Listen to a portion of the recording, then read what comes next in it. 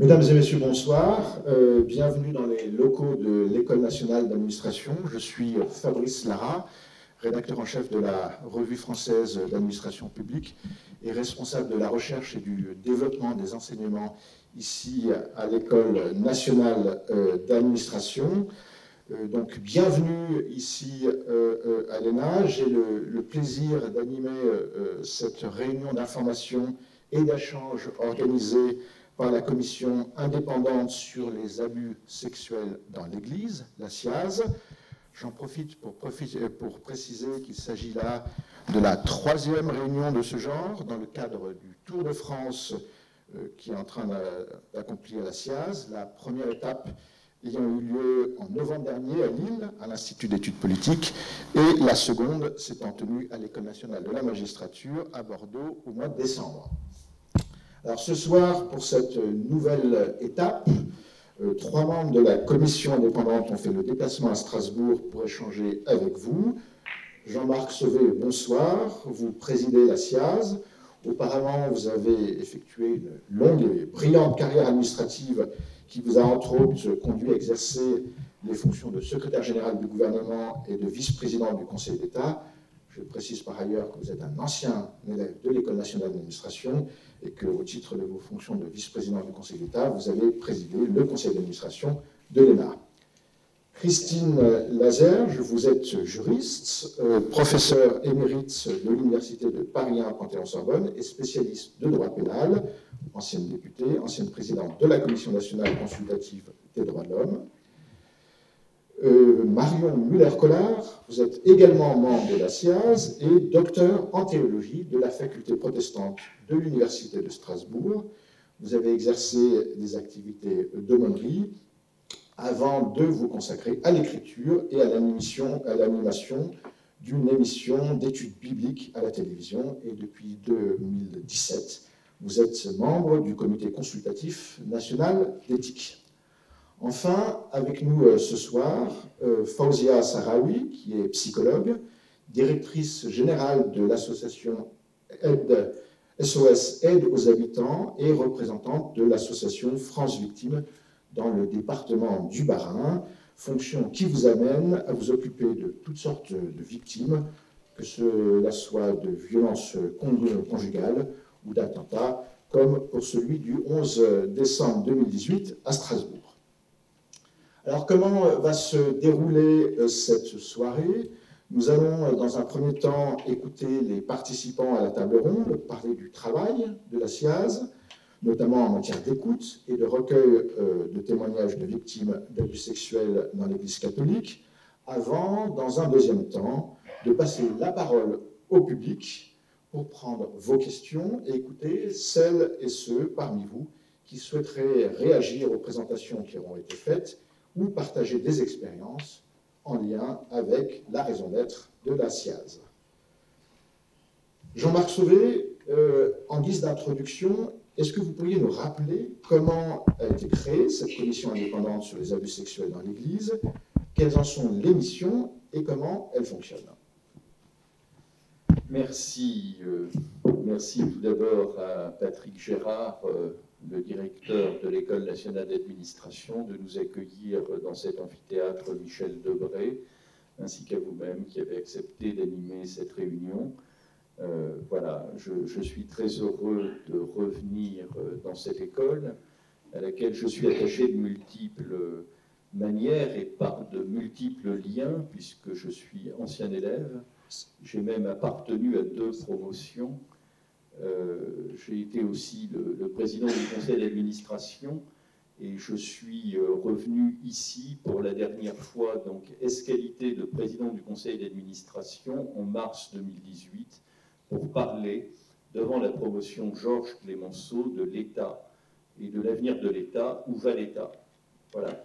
Donc je reviens maintenant dans une nouvelle qualité, je suis défunt au sens latin du terme, c'est-à-dire déchargé de fonctions. Déchargé de toutes mes fonctions publiques, euh, je suis donc, euh, j'ai toujours été très libre dans l'administration, je le suis plus encore aujourd'hui, euh, mais il se trouve que j'ai été assez vite rattrapé par l'Église catholique. Et j'en arrive à ce que, à la jeunesse de la commission, je ne reviendrai pas sur les raisons qui ont conduit l'Église catholique à créer une telle commission. Mais voilà, moi j'ai été appelé peu après la conférence des évêques qui s'est réunie à Lourdes en novembre 2018. Euh, j'ai été pressenti pour composer et présider une commission qui a euh, quatre missions. La première mission, c'est de faire la lumière sur les abus sexuels qui ont pu être commis dans le cadre de l'Église catholique depuis 1950, c'est-à-dire depuis 70 ans travail évidemment gigantesque qui doit conduire à révéler des choses cachées qui relèvent de l'intime et qui d'ailleurs constituent des transgressions de la loi civile et de la loi de l'Église. D'où euh, évidemment euh, la raison pour laquelle ces faits ne sont pas connus et ont émergé euh, tardivement. Donc faire la lumière sur les abus sexuels. Deuxième objectif, rendre compte de la manière dont ces abus ont été ou pas traités par l'Église catholique. Troisièmement, évaluer les mesures qui ont été prises euh, depuis le début des années 2000 pour prévenir, traiter ou réparer les conséquences dommageables de ce qui s'est passé. Quatrième objectif, c'est de faire toute recommandation utile. Donc, euh, eh bien, je me suis attaché euh, à la première étape de la feuille de route qui a consisté à composer la commission. Et euh, c'est une première, première épreuve. Il a fallu que je m'entoure de toutes les qualifications dont j'étais dépourvu. Elles étaient très nombreuses. et il a fallu que j'assure, je dirais, la diversité la diversité disciplinaire, la diversité d'opinion et la diversité d'opinion religieuse de la commission. Donc, cette commission, elle est composée de médecins, de psychiatres, de psychologues, euh, de sociologues, euh, histoire euh, des religions, par exemple, mais aussi sociologie des, des, violences, des violences intrafamiliales, sociologie de la justice. Euh, nous avons également des compétences juridiques très variées dans le domaine du droit civil, euh, dans le domaine du droit pénal, du droit canonique. Nous avons des théologiens au sein de, la commission euh, de différentes confessions, catholiques et, protestants. Bref, nous avons essayé de, j'ai essayé de composer la commission la plus diverse et qui soit en capacité de relever euh, ce défi euh, vraiment euh, très, très, très lourd, qui est de répondre à toutes les questions qui nous sont posées. Voilà, on reproche beaucoup à la société française de vivre dans l'entre-soi.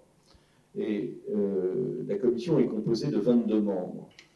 je me connais un peu moi-même, enfin j'essaye de me connaître moi-même. J'ai donc fait équipe avec 21 personnes. Sur ces 21 personnes, j'en connaissais 7 un peu ou assez bien. Euh, mais euh, parmi les 7, certaines personnes ont été tout d'un coup très surprises que je m'adresse à eux ou à elles pour leur faire une proposition. 14 que je ne connaissais pas du tout. Donc voilà, et 14 parmi euh, une centaine de candidatures euh, possibles, spontanées ou euh, suscitées, et des dizaines d'entretiens. Nous nous sommes réunis pour la première fois le 8 février 2019. Nous avons, au cours des trois premiers mois, défini notre programme de travail.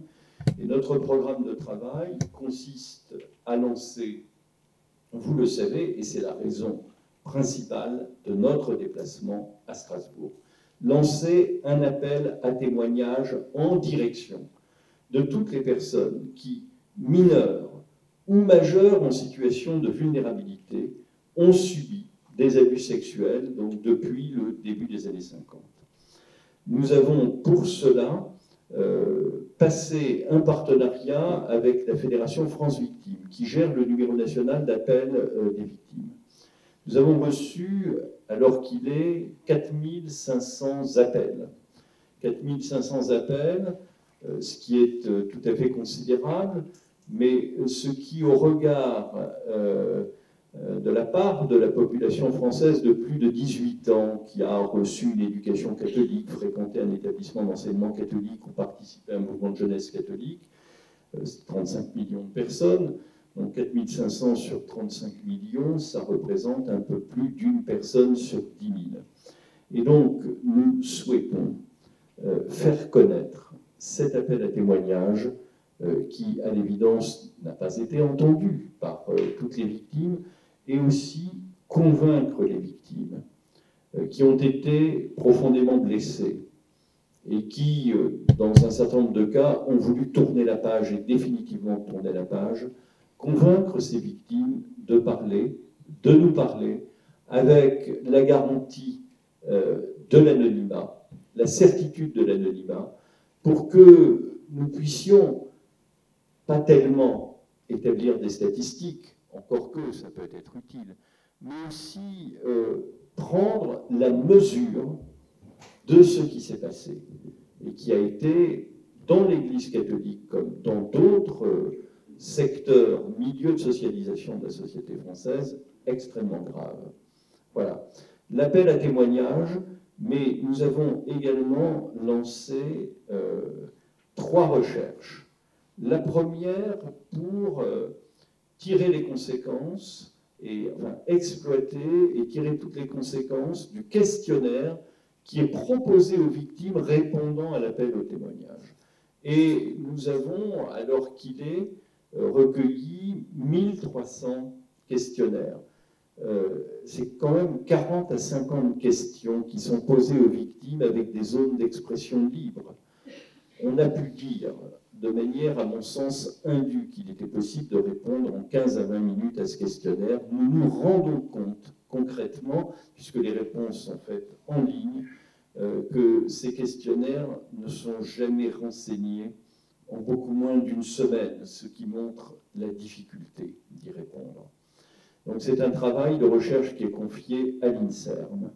Nous avons un deuxième travail de recherche qui est un travail d'exploration des archives, des archives civiles, des archives ecclésiastiques et aussi d'autres archives disponibles, notamment des archives de la presse. Les archives civiles nous ont conduit dans les archives nationales.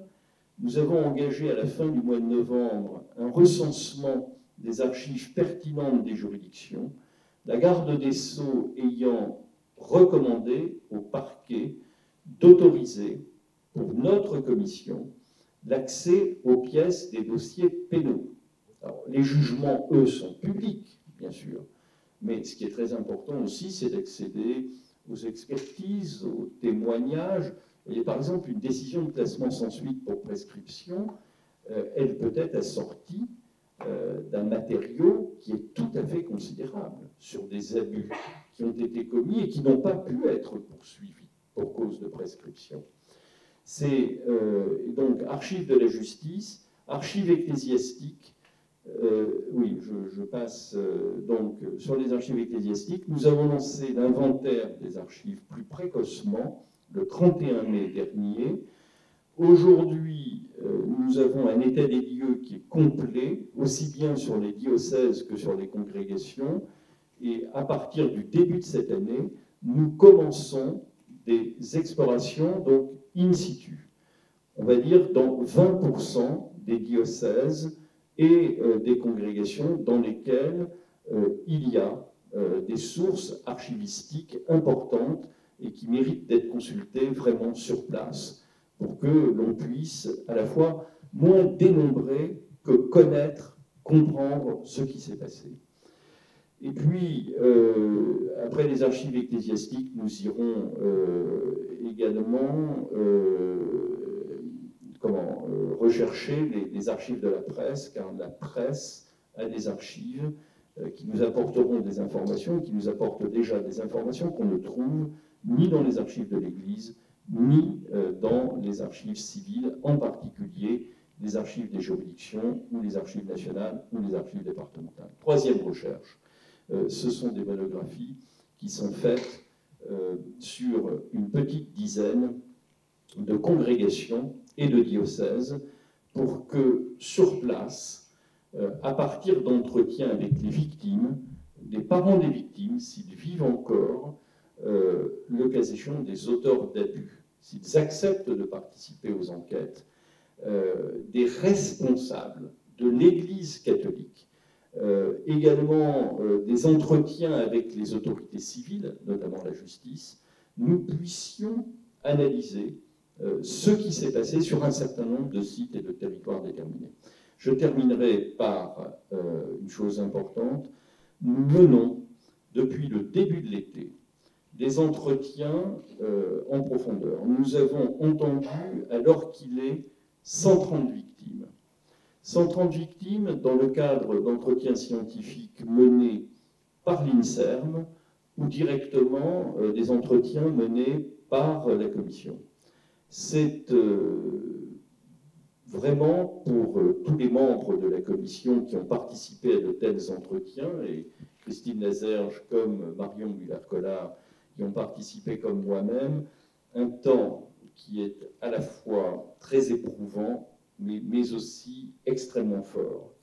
Je pense que rien ne peut remplacer dans notre mission ce contact direct avec les victimes qui viennent nous dire, elles sont volontaires pour s'exprimer, comment euh, ces choses ont pu se produire, ce qui leur est arrivé, quels ont été leurs sentiments euh, de, sidération, parfois aussi de honte et de culpabilité pour n'avoir pas su repousser euh, des agressions intolérables, et comment elles ont pu ensuite vivre avec ce fardeau. Si je peux résumer les conséquences des abus sexuels en un mot, euh, c'est effectivement beaucoup de, de, souffrances, ce sont des vies abîmées, ce sont des vies détruites, et si je résume ça par un mot et un verbe, c'est un empêchement de vivre. Beaucoup de personnes euh, n'ont pas été en capacité d'en parler, ni à leur entourage, a fortiori pas à la justice ou aux autorités de l'Église, pendant des dizaines d'années. Et voilà, c'est ce silence qu'il faut briser. Et c'est ce à quoi nous nous attelons euh, à l'occasion de ces entretiens avec les victimes, des entretiens de deux heures qui ne sont pas directifs. Et quand on dit à la fin aux victimes, euh, on l'a fait en particulier avec Christine euh, à Bordeaux, qu'attendez-vous de la commission? Et il y a une réponse que, nous avons entendue, mais on l'a entendue sur d'autres modes avec d'autres personnes. Ben, ce que j'attends, c'est ce que nous venons de faire. C'est d'avoir passé un long moment, un long moment ensemble d'écoute, de dialogue, euh, de dialogue qui, euh, qui évidemment est, une écoute bienveillante et un dialogue qui permet de, de connaître, de comprendre. Voilà, des victimes veulent, en tout cas celles qui ont accepté de parler, être reconnues et exprimer, dire vraiment comment leur vie a été transformée, abîmée, euh, et, pouvoir le dire à quelqu'un qui ne jugera pas. Euh, et je pense que c'est un premier pas, en réalité, euh, sur la voie de, de, la reconstruction, de la réparation, même si beaucoup de chemin a été fait par ailleurs par beaucoup de, victimes. Voilà, je termine par euh, cela. À Strasbourg, nous procédons aussi très discrètement, mais nous procédons également à des auditions, car nous ne voulons pas euh, trahir la confiance qui nous est faite euh, et donner des, noms et des indications de Dieu. Chaque audition donne lieu à l'établissement d'un compte-rendu écrit qui est soumis à la victime, qui peut être donc amendé, complété, réécrit euh, et c'est une base de connaissances irremplaçable pour la Commission. Je pense aussi que c'est un mémorial que nous sommes en train de construire, un mémorial de ce qu'a été la vie des victimes d'abus sexuels dans notre société et au cas particulier dans l'Église catholique. Euh, merci, Président. On voit bien tout le caractère très méthodique euh, et systématique euh, du travail que vous avez entrepris. Christine Lazerge, comme je l'ai mentionné, vous êtes vous-même juriste. Est-ce que vous pourriez nous rappeler ce que le droit pénal dit en la matière? Je vais le rappeler, merci beaucoup. Mais merci beaucoup à toutes les personnes qui sont ici. Merci beaucoup aux, victimes. Jean-Marc Sauvé vient de terminer euh, sur euh, ce mémorial euh, que nous sommes en train de participer à la construction. Dans cette commission, je ne mesurais pas combien les victimes et ce qu'elles nous disent nous apporteraient, nous bouleverseraient. Et je peux dire que les textes de droit pénal, si je veux en parler un instant, c'est simplement pour dire qu'ils existent et que personne ne peut dire que le législateur ne s'est pas intéressé à ce sujet. Ça ne date pas de hier, ça date d'avant-hier et d'avant-hier. Euh, en mai 68, on n'a pas du tout euh, modifié les textes de droit pénal. Les atteintes sexuelles sur mineurs de moins de 15 ans sont très anciennes dans le Code. Les sanctions ont été récemment durcies. Il n'y a pas que le viol qui est sanctionné. Et il y a aussi dans le Code pénal des textes sur l'obligation de dénoncer. Un crime doit être dénoncé par toute personne en ayant euh, connaissance. Et si euh, d'aventure ce texte-là avait été effectif, ou s'il était effectif, peut-être que les cours d'assises seraient encore plus encombrées euh, qu'elles ne sont. Quant aux tribunaux correctionnels, beaucoup de parquets, il n'y a pas que euh, les clercs ou les euh, religieux qui est sous-estimé la gravité de ces faits. les postes de gendarmerie, les commissariats de police ont très souvent renvoyé celui qui venait porter plainte pour des faits d'atteinte sexuelle, transmis rarement au parquet euh, des, positions, et les parquets eux-mêmes ont très largement euh, usé euh, du classement sans suite. Quand, par hasard, une instruction était ouverte, là, en effet, en général, on arrive à un procès et à une condamnation. Je ne veux pas du tout par là dire que le procès pénal est une solution pour la réparation des victimes. Le procès pénal n'a pas une fonction euh, de thérapie. D'abord, ce n'est pas sa première fonction. Et, s'il voulait être un, tout petit peu thérapeutique, il faudrait qu'il fonctionne différemment de ce qu'il fonctionne.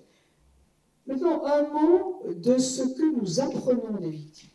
En fait, euh, nous apprenons tous les victimes. Euh, nous apprenons des sentiments de honte, des expériences d'emprise qui n'ont rien à voir avec ce que nous pouvions imaginer. Les victimes sont dans une situation d'enfermement dans un sujet tabou, dans un sujet dont on devrait pouvoir parler dans sa famille, dont on devrait pouvoir parler à l'école, dont on devrait pouvoir parler partout. Or, la honte, Jean-Marc l'a dit tout à l'heure, la honte étant le premier sentiment quand on est victime d'abus sexuels, eh bien, évidemment, on ne dit rien. Et il est saisissant de voir que les victimes qui acceptent de venir nous parler ont toutes, toutes plus de 50 ans. Et toutes nous parlent de faits qui ont plus de 30 ans. Peut-être que les choses vont bouger. Peut-être que les choses vont bouger. Il faut à peu près 30 ans pour, pour dire euh, la honte que l'on a encore, pour dire comment s'est construit petit à petit l'emprise, euh, alors dans notre cas, dans le cadre de notre commission, l'emprise d'un prêtre, d'un chef charismatique, en général euh, très aimé et charmant, en général populaire. On découvre aussi des victimes qui ont été entraînées dans des sectes à proprement parler dans l'Église catholique, euh, des sectes dont on arrive aussi difficilement à sortir que d'une secte extravagante euh, dans la société euh, civile. Après la honte, il y a l'humiliation. Il y a l'humiliation, je suis un moins que rien, pourquoi m'avoir choisi?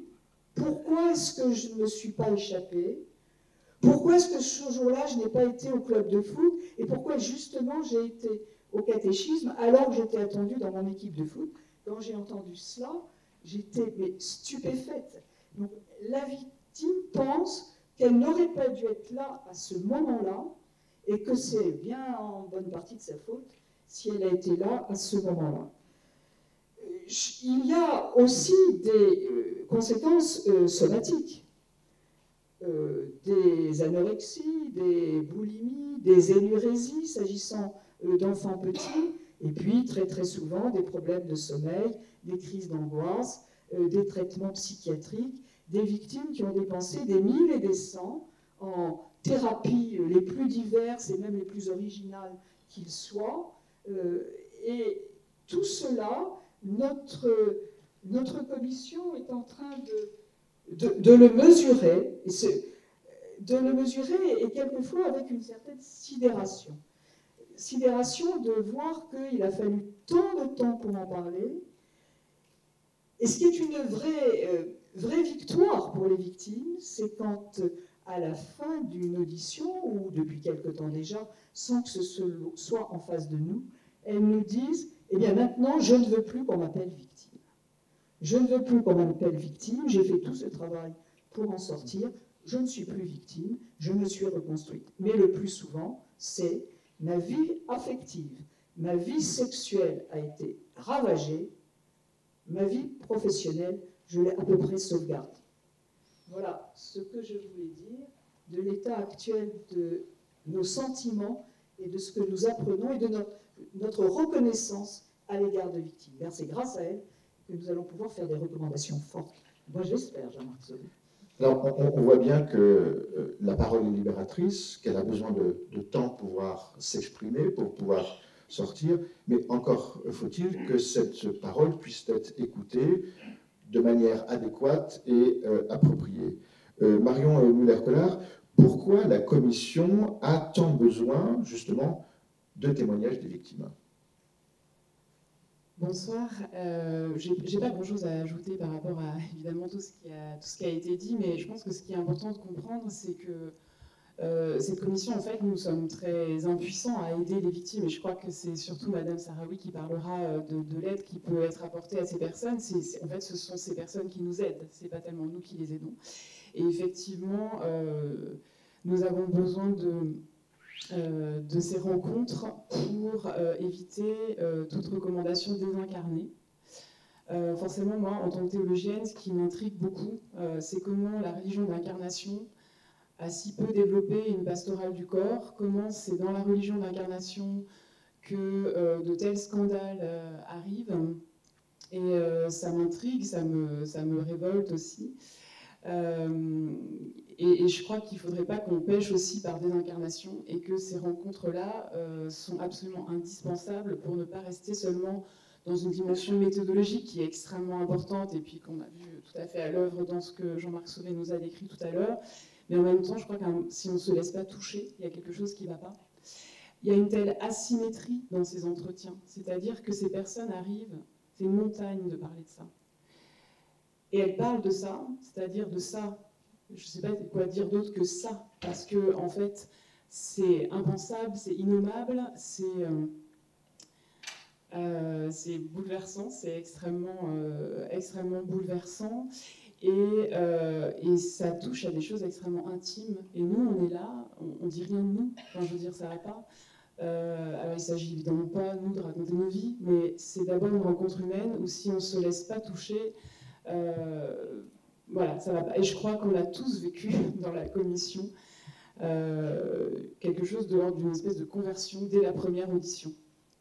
En fait, dès la première audition, après la première audition, il y a une journaliste qui, dans une interview, me dit ça doit être très intéressant ce travail. Et ça m'a révolté d'entendre ce terme intéressant Euh, c'est pas la question de savoir si c'est intéressant en fait. C'est révoltant, c'est urgent, c'est brûlant. Euh, et, je crois que voilà, on, a effectivement tout le travail. Euh, ce sont les personnes concernées qui le font, ce sont les personnes victimes qui le font. C'est d'ailleurs sans elles, euh, jamais cette commission aurait été créée, il faut être clair. Donc c'est le courage de celles qui ont pu parler, qui a permis de tendre la main à d'autres pour leur donner aussi le courage peut-être de parler aussi. Moi, ce qui me touche énormément et qui ressort souvent, c'est que les personnes qui viennent disent je viens pas pour moi, je viens pour que ça se reproduise pas, euh, je viens pas pour moi, je viens pour mes enfants, je viens pas pour moi. Et donc, euh, quand, on demande les recommandations, parce qu'on ne va pas les inventer, hein, les recommandations, en fait, dans chaque entretien, on demande aux personnes, mais quelles recommandations vous voulez faire vous, à l'Église et à la SIAZ Il y a une personne qui disait, pour encourager la parole, dites bien que en fait, ça, peut changer quelque chose et que c'est important. Donc j'ai envie de dire, euh, oui, on a besoin de ce témoignage et en fait, les autres victimes ont besoin euh, que, celles qui sont en mesure de parler, pour qui cette montagne que c'est de parler est encore à peu près possible à escalader, qu'elles sachent que leurs efforts ne sont pas vains, parce que c'est par leurs paroles que d'autres vont prendre la parole. Et on n'est absolument pas dupe sur le fait que les personnes qui viennent jusqu'à nous sont déjà des personnes qui ont fait un énorme chemin et qu'il y en a qui sont juste pas du tout en capacité de le faire. Donc la boîte noire du sujet qu'on traite, elle est énorme, on en a conscience. Et on a juste envie de dire à ceux qui sont dans la boîte noire, bah, en fait, qu'il faudrait que la honte, elle change de camp et qu'elle revienne enfin sur les personnes qui ont commis ces crimes et pas sur celles qui les ont subis on voit bien la, contribution à la prise de, conscience euh, à laquelle vous, participez. On voit aussi un, travail de, connaissance du phénomène pour le nourrir non seulement de, données chiffrées, mais de, témoignages et, d'exemples. Et, aussi, ce qui ressort de, votre propos, c'est aussi de euh, lancer une réflexion sur ce qui s'est passé dans cette institution qui, est l'Église, de manière à ce que ce ne se reproduise plus. Euh, Fawzia Sarawi, euh, euh, vous, en tant que, spécialiste de, l'aide aux victimes, en, tant que responsable d'association, quel regard portez-vous sur le travail justement conduit par la SIAZ? Bonsoir tout le monde. je, dans un premier temps, je vous remercie d'avoir euh, euh, France Victimes et toutes les associations nationales d'aide aux victimes dans cette euh, démarche. Donc France Victimes regroupe, je vais vous donner un petit, aperçu quand même sur notre organisation, qui regroupe 150 associations qui se trouvent donc à l'échelle nationale, à peu près une association, voire deux par département. nous avons 1500 professionnels qui sont psychologues, euh, cliniciens, juristes, aux travailleurs sociaux, euh, qui sont des professionnels de l'aide aux victimes et qui interviennent régulièrement donc, dans des lieux judiciaires comme les tribunaux de grande instance, les maisons de justice et de droit, voire euh, les commissariats de police, pour accueillir, informer et accompagner les victimes en amont d'une plainte, pendant la plainte et tout au long de la procédure judiciaire. Donc l'accompagnement peut être sous forme d'information, parce que nous ne sommes pas nos salariés sont plutôt des juristes, nous ne sommes pas des avocats. Nous ne donnons pas de conseils, nous donnons des informations sur, euh, sur les procédures, sur euh, le droit de façon générale et les moyens de faire valoir ces droits. Et les psychologues donc, euh, accueillent les victimes et leur offrent une possibilité de verbaliser sur ce que vous venez de dire. Donc, quand une personne a subi de tels actes que vous avez qualifiés vous-même d'actes criminels nous sommes au niveau de la fédération tout à fait d'accord sur euh, ce type de qualification. Euh, c'est très très difficile pour une personne qui a subi ce genre d'actes de, vivre avec. Et euh, il faut savoir aussi que les personnes que nous recevons dans les structures d'aide aux victimes viennent pour des faits qui sont très très anciens, comme vous venez de le souligner, et qu'il n'est pas évident de revenir sur 30 années, 40 années, voire plus. et ouvrir un chantier qui est énorme pour des faits qui ont été subis pendant l'âge de l'enfance. Certaines victimes se sont construites avec cette douleur permanente qui a eu pour conséquence sur leur être. Donc, euh, vous avez parlé, Madame euh, donc de, problèmes sur leur vie personnelle, sur leur sexualité. Beaucoup de, de, victimes nous disent qu'elles ont changé euh, donc, d'orientation sexuelle suite à ça. D'autres personnes nous ont dit qu'elles ont décidé de ne pas avoir d'enfants, tout simplement, pour ne pas les exposer à ce type de pratique. Euh, des personnes qui nous, ont dit, qui nous ont dit que leur parcours scolaire était euh, euh, voilà, compliqué parce que leur tête n'était pas sur les études, elle était ailleurs. Et donc toutes ces victimes qui sont avec des douleurs assez, assez importantes, certains ont réussi par moments d'isoler ce phénomène et de pouvoir vivre avec, d'autres pas du tout. Et l'état de lieu me semble vraiment très, euh, très désastreux parce que quand on entend euh, ces personnes parler de leurs euh, ressentis, de leurs éprouvés, donc je suis contente qu'il y a cette commission qui a fait l'effort justement d'aller sur les territoires et de ne pas laisser cette charge sur le, portée par les victimes, donc aller vers les victimes, les rencontrer, leur offrir cette possibilité de ventiler sur cette éprouvée si difficile euh, me semble une très très bonne initiative. Et sachez que, en tout cas, les victimes que nous avons, euh, nous, accueillies dans les structures ou celles qui sont passées par le numéro euh, donc, de France Victimes, apprécient cette démarche. Apprécient cette démarche. France Victimes a mis quand même un dispositif spécifique, hein, ça je tiens à le dire, est composé de quatre personnels qui sont formés. Euh, ce sont quatre femmes donc, qui euh, sont là pour écouter les victimes et les orienter en fonction de leurs euh, besoins, leur donner les, numéros de téléphone des structures sur, sur chaque département. Voilà. Après, s'il y a d'autres choses, je peux les rajouter. Merci, merci aux quatre intervenants pour ces, précisions. Donc on, voit bien l'esprit dans lequel se fait le, travail de, la SIAZ, les, difficultés euh, qu'elle rencontre euh, dans sa démarche, mais aussi son apport euh, présent et, à venir.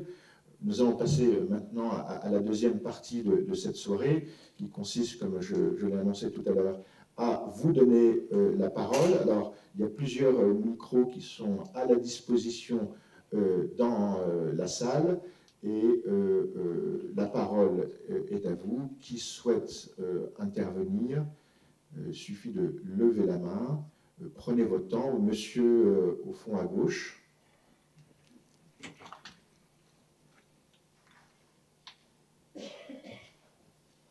Oui, bonjour, Jean-François Pierre, je suis journaliste au, DNA. vous avez dit un crime, vous avez rappelé un crime doit être dénoncé par toute personne en ayant connaissance. J'ai l'impression que ça va à l'encontre de la décision rendue par la Cour d'appel de Lyon aujourd'hui. Et j'ai le sentiment qu'on est en train de remettre un couvercle sur la marmite. Euh, non, ce n'est pas parce qu'on a dénoncé un crime qu'il va être condamné, euh, parce qu'on ne peut pas avoir de preuves, etc. Mais euh, sans commenter du tout la décision de la Cour d'appel euh, de Lyon, a encore un recours possible devant la Cour de cassation, je veux simplement de dire que les garanties d'un procès équitable entraînent un certain nombre de règles juridiques comme les règles de prescription et que certains faits ne peuvent plus être poursuivis ou condamnés sans entrer dans les détails au bout d'un certain temps et qu'on peut avoir des hésitations sur la façon dont on interprète les textes sur la prescription.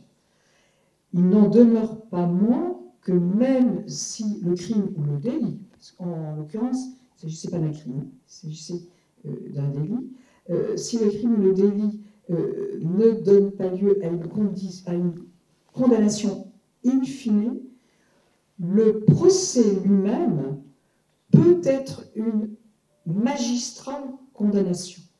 parce qu'il met au jour un certain nombre de faits que l'on voulait cacher.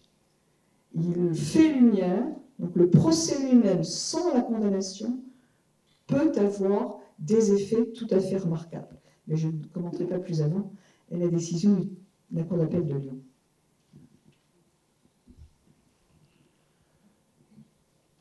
Merci. Peut-être un mot euh, sur cette affaire. L'arrêt de la Cour d'appel de Lyon a été rendu euh, à propos d'un article du Code pénal euh, qui est relatif à la dénonciation des mauvais traitements à mineurs et personnes vulnérables. il ne porte pas sur l'obligation de dénoncer les crimes l'obligation de dénoncer les crimes, elle, euh, elle demeure dans toute sa rigueur et, dans toute son étendue. Au cas particulier, ce qui a été débattu à Lyon, euh, c'est la question suivante, mais là aussi je ne commenterai pas, c'est juste en tout cas un éclairage de cette décision.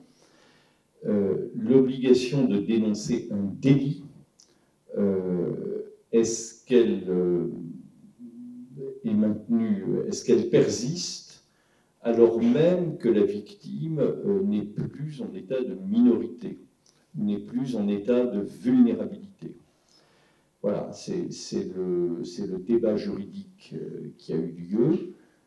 il a été tranché dans un sens par le tribunal, dans un autre sens par la Cour d'appel de Lyon j'ai cru comprendre en lisant les dépêches d'agence qu'il y avait un pourvoi en cassation. Donc euh, l'interprétation de la loi pénale sera définitivement donnée euh, dans quelques mois. Hein. Et euh, après, il y a la loi, il y a son interprétation, puis si le législateur veut reprendre la main un jour, il en a bien sûr toute la, faculté. Hein. Christine Nazaire, j'ai été vice-présidente de la commission des lois de l'Assemblée nationale et euh, à la fin, la loi euh, qui s'applique euh, à tous, qui s'applique d'ailleurs aussi à nous, commission indépendante sur les abus sexuels, la loi, elle est faite par le Parlement, et le Parlement, c'est bien l'expression du souverain, qui est le peuple français. Et donc, il y a toujours aussi la possibilité de changer la loi si on estime que la loi n'est pas adaptée. Et vous le savez, la loi ne cesse pas de changer. Il y a des délais de prescription, notamment, euh, qui en matière euh, correctionnelle étaient de 3 ans et en matière criminelle de 10 ans, euh, sont désormais et ont été portés en matière criminelle à 30 ans à compter de la majorité lorsqu'il s'agit de crimes sexuels.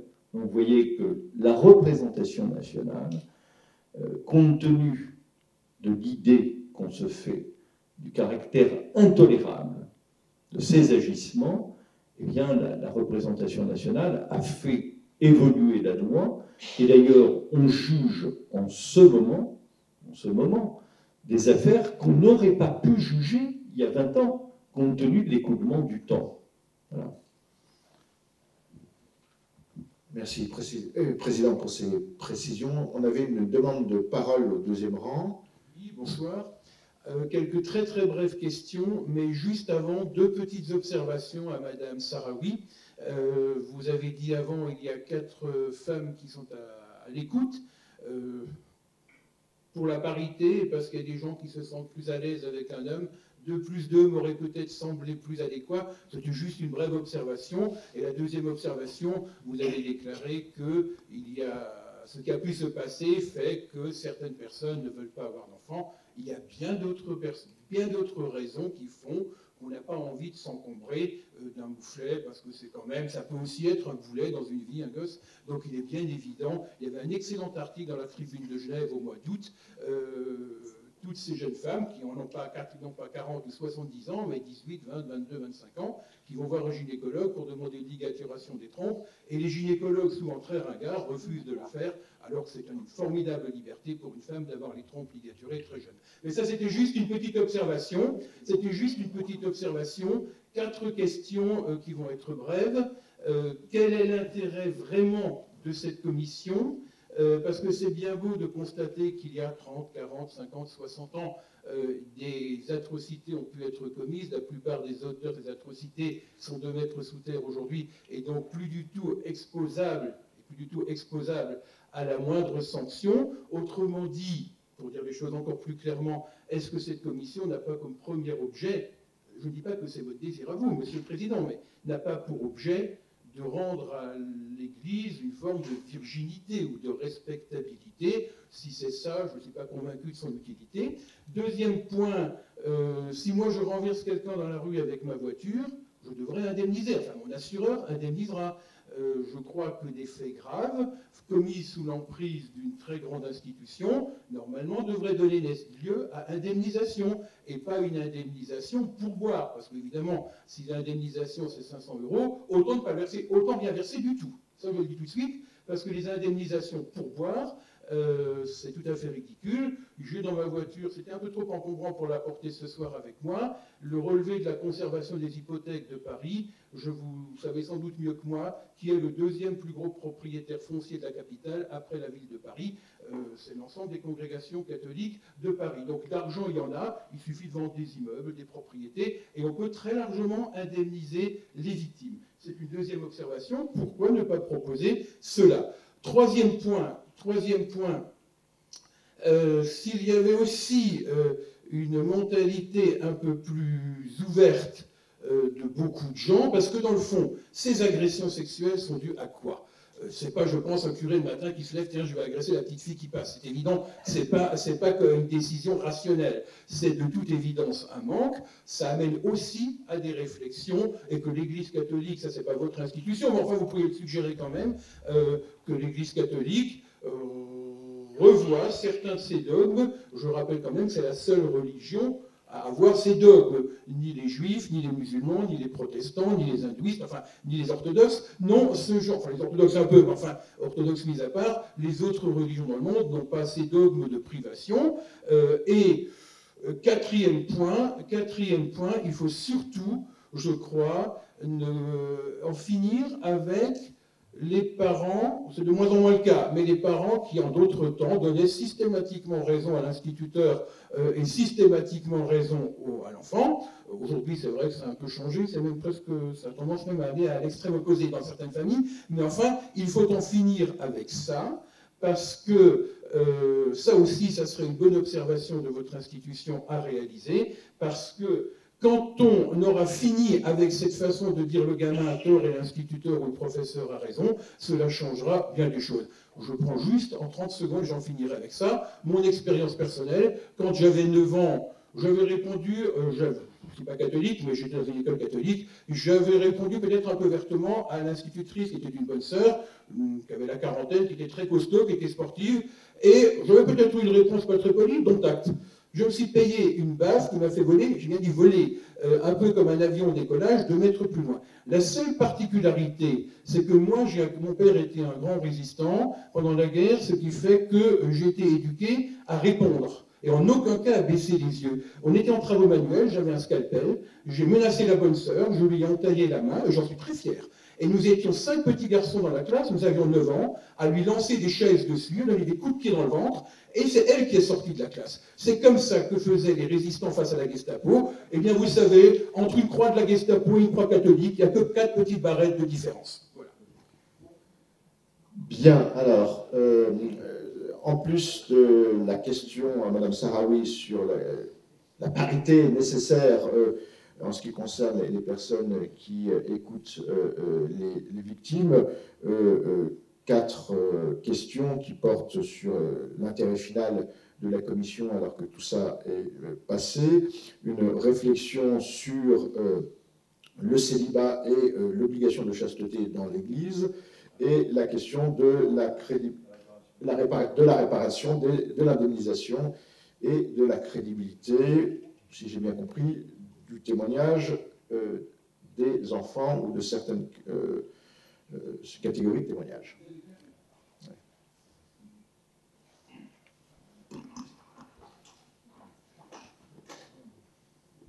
Je vais m'efforcer de répondre à propos de parité.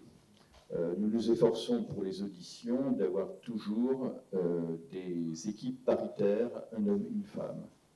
Voilà, dans toute la mesure du possible. Euh, si on manque à la parité, euh, je préférerais deux femmes que deux hommes pour mener de tels entretiens. Donc, euh, la manière dont s'organise France Victime, qui est notre partenaire, ne m'a en aucune manière choqué ni créé de difficultés. Alors, je vais essayer de, répondre aux questions que vous posez. Aux premières d'entre elles, l'intérêt de la commission. je pensais, après que vous avez commencé à poser cette question, parce que vous avez posé des questions, mais ce sont des questions qui contiennent des réponses. Et euh, à votre première question, je voyais venir la réponse euh, qui consistait à dire oui, tout ceci est destiné, puisqu'il n'y a plus de sanctions possibles, tout ceci est destiné à, je pensais, mettre en accusation l'Église catholique. Mauvaise pioche, c'était tout ceci est destiné à rendre, avez-vous dit, à l'Église sa virginité et sa responsabilité et sa respectabilité. Je voudrais euh, vraiment tout à fait euh, prendre le contre-pied de ce que vous avez dit. C'est précisément parce que la justice civile ne peut plus passer, parce que également la justice ecclésiastique ne peut plus passer, qu'il est d'autant plus nécessaire de mettre à jour tous ces crimes, tous ces délits qui ont été commis euh, pour, euh, pour en faire mémoire d'abord, pour reconnaître la souffrance, pour diagnostiquer, analyser ce qui s'est passé et en tirer des conclusions de portée générale pour que plus jamais cela ne se reproduise. Donc, euh, au regard de la question que vous posez, euh, j'aboutis vraiment à une réponse qui est diamétralement opposée. Votre deuxième question euh, sur euh, quand il y a dommage, eh bien, il y a réparation. Et cette réparation ne peut pas être un pourboire, ne peut pas être symbolique. Voilà une des questions qui est évidemment posée à notre commission. Et euh, je vous ferai une confidence que vous ne répéterez à personne. Nous sommes absolument résolus à aller au fond des choses. Hein. C'est complètement clair. Euh, il y a eu des dommages. Alors, en tant que des dommages ont été causés par des personnes, des personnes décédées, ce volet de responsabilité ne peut plus être actionné. Mais après, il nous appartient il nous appartient au sein de la Commission euh, de réfléchir à ce qu'a été, euh, ou pas, un système d'abus dans l'Église catholique, et à donc faire, le cas échéant, des recommandations, étant observé que l'Église catholique elle-même, au travers de ses institutions, notamment la conférence des évêques de France, a un travail multiforme qui est en cours, mais qui comporte aussi un volet euh, indemnitaire. Troisième question, euh, vous avez des solutions consistant à revoir les dogmes. Au demeurant, ce n'est pas des dogmes. Vous avez évoqué, en creusant du tout le prononcé, l'obligation de célibat, le vœu de chasteté. pour au fond des choses, pour aller au fond des choses, il serait très important pour nous de mieux connaître euh, la genèse des abus qui ont été commis dans l'Église catholique. Et notamment, il serait à nos yeux absolument essentiel qu'on puisse avoir un travail spécifique sur les abuseurs, et, notamment les raisons du passage à l'acte et les conditions du passage à l'acte des abuseurs. Voilà. Euh, alors, je n'envisageais pas euh, d'en parler parce que euh, c'est un sujet très, très ponctuel, c'est un sujet très important et sur lequel nous n'avons pas renoncé. Je, je, tenais à le dire. Et puisque vous êtes allé très loin dans votre question, il faut se poser la question de savoir si les règles internes de l'Église catholique ont pu favoriser des abus, mais il faut aussi se poser la question de savoir si un certain nombre de personnalités déviantes et perverses n'ont pas emprunté ce chemin, notamment cette condition, et n'ont pas voulu embrasser ces ministères pour assouvir des objectifs, comme on a pu voir des personnalités rechercher des professions au contact des jeunes pour assouvir un certain nombre de, fantasmes et euh, euh, de, projets euh, déviants. Voilà. Alors, sur la dernière question, je donne la parole à Marion Muller-Collard.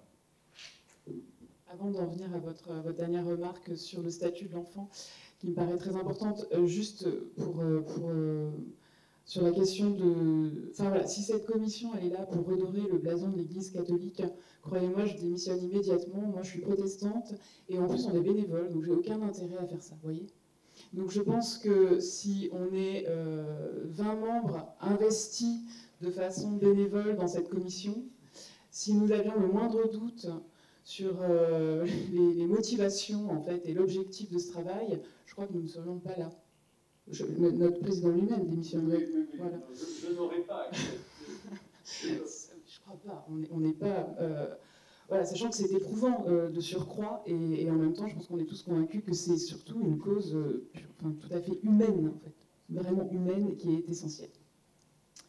ça n'enlève rien à ma, ma, totale fraternité pour l'Église catholique, mais je veux dire, voilà, je, notre indépendance, je pense, est garantie par la diversité aussi des membres et, euh, notre diversité aussi de confession, tout simplement. Ça, c'est une chose.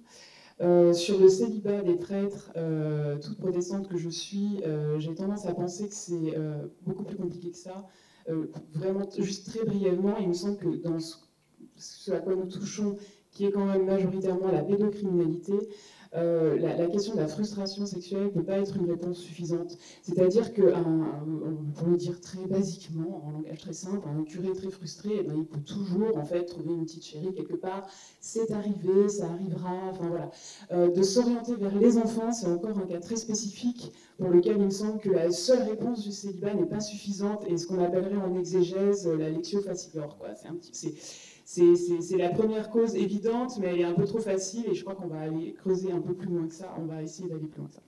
Maintenant, vous avez parlé du statut de l'enfant et je veux vous rejoindre sur ce point parce que, euh, effectivement, pour moi, c'est quelque chose qui est très réactivé par tout ce que nous entendons c'est de me dire en fait, on n'arrive pas, et là je le dis de façon générale, vraiment dans notre société, et, le cas Matnef en est révélateur euh, très récemment, il n'a pas grand-chose à voir avec l'Église catholique, si ce n'est que, paraît-il, il, demandait à sa victime de réciter un Je vous salue Marie tous les soirs avant de dormir, mais à part ça, euh, ça touche vraiment à, à notre incapacité d'adulte à mettre l'enfant à sa juste place. C'est-à-dire que pour le dire vraiment là aussi très schématiquement, jusqu'à Françoise Dolto, l'enfant était un objet, donc on pouvait lui faire à peu près n'importe quoi. Et à partir de Dolto, qu'on a très mal compris d'ailleurs, je pense à plus d'un titre, mais là je ne vais pas empiéter sur les compétences de ma voisine, euh, l'enfant est devenu une personne, mais du coup un adulte.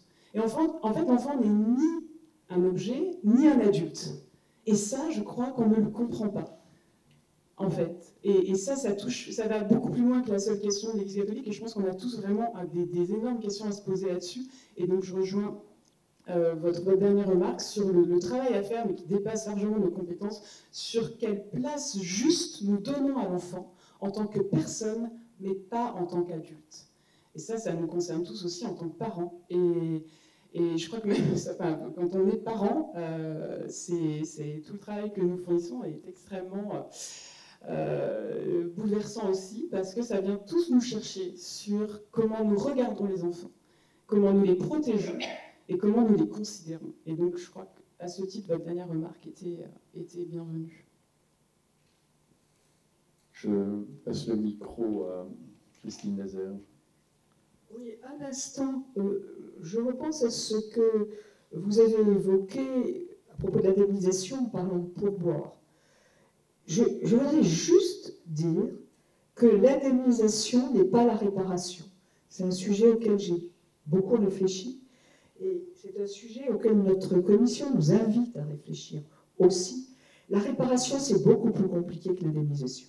Ça ne veut pas dire que l'indemnisation n'a pas d'importance, mais que la réparation, c'est complexe, ça passe par diverses formes, ça passe essentiellement par la parole libérée, la fin de la haine à l'égard de l'auteur et la reconnaissance de l'auteur du désastre qu'il a causé. C'est bien plus compliqué que le pourboire ou l'indemnisation, même si elle est conséquente. C'est tout ce que je voulais dire.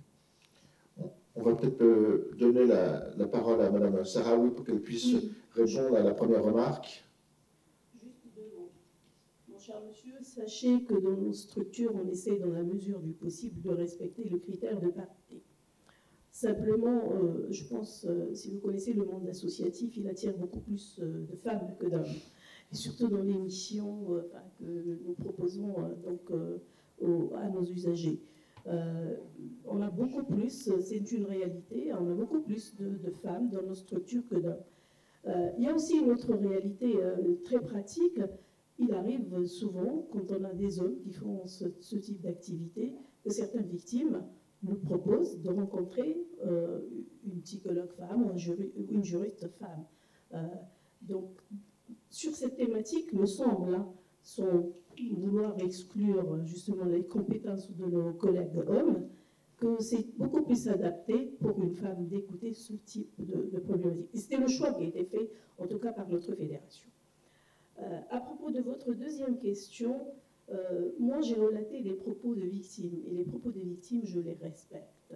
Quand vous avez des victimes qui vous disent ça a changé mon orientation sexuelle, je n'ai pas de jugement à porter, c'est son vécu, euh, elle le dit, et je dois, en tant que psychologue, l'entendre et l'aider justement à réfléchir sur ça. Quand vous avez des victimes qui vous disent j'ai évité, je n'arrive pas à me stabiliser déjà dans une relation conjugale, et j'ai évité justement d'avoir des enfants pour ne pas euh, les exposer à de tels, euh, de tels faits je le respecte aussi, c'est la parole d'une victime. Ça ne veut pas dire que voilà qu'il y a d'autres possibilités hein, ou d'autres choses qui nous exposent dans la vie qui font qu'on va éviter de devenir parents parce que tout simplement on n'a pas envie d'avoir des enfants, on n'a pas envie d'avoir une charge familiale. Mais ça, ce que je, viens de vous dire, ce sont des paroles donc de, victimes et moi je les entends en tant que telles. Merci de, ces précisions qui, je crois, euh, nous permettent de, bien comprendre la nature de la question et, toute sa complicité. Alors, nous avions une, troisième demande de, prise de parole. Troisième rang, madame.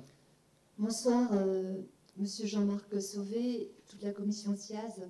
Je vous remercie de me donner la parole. J'étais victime d'un prêtre dans mon adolescence. Ce prêtre vit encore. J'ai fait des signalements en 99 un peu plus tard, donc auprès de deux évêques. Rien n'a été fait. Je remercie ce soir Monseigneur Ravel, ici présent dans cette assemblée, qui a été le premier évêque à me dire, et je suis théologienne hein, par ailleurs, je le précise, il ne peut pas y avoir de miséricorde s'il n'y a pas de justice. En tant que théologienne, j'aurais dû le comprendre, mais jusque-là, je n'ai pas. Dans ma tête, ça passait pas. Donc merci pour ça. J'ai donc déposé plainte, consciente que les faits étaient prescrits. Conscient que les faits étaient prescrits. Alors ça n'a pas vraiment changé grand-chose pour moi, mais c'était quand même un acte important, parce que je me dis peut-être qu'il y en a d'autres hein, qui ont été victimes.